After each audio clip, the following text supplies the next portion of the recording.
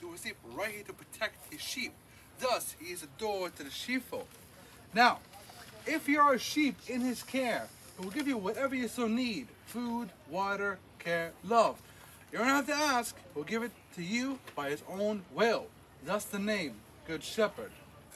Now, the shepherd will, one, will once a year separate his flock, sheep right, goats left.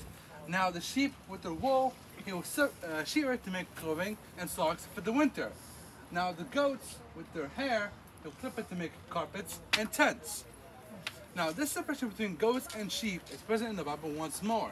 It is present in the Gospel of Matthew, all right?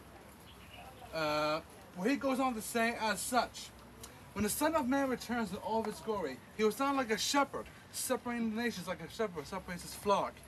The sheep, the righteous, will be on his right hand side. The goats, the non-righteous, will be on his left hand side. The sheep will obey the good shepherd, followed his will, and did his will, will go with him into the sheepfold for eternal life.